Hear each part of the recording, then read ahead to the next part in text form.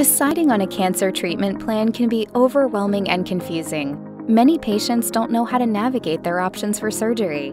Learning about all the options can help you and your doctor make the best decision for you. Surgery for colorectal cancer is when a surgeon removes the diseased portion of your colon and or rectum.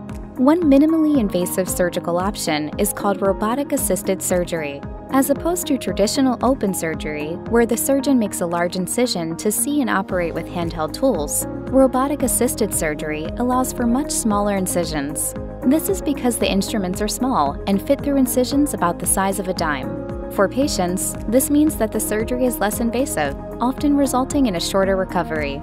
This approach also allows surgeons to operate with a greater range of motion and more precision than they would typically have with the human hand. Using this technology, surgeons can even see the operation in 3D and magnify their view to 10 times its normal size. Throughout the entire process, the surgeon remains in control. It's important to know about your choices and to talk to your doctor about which option is best for you.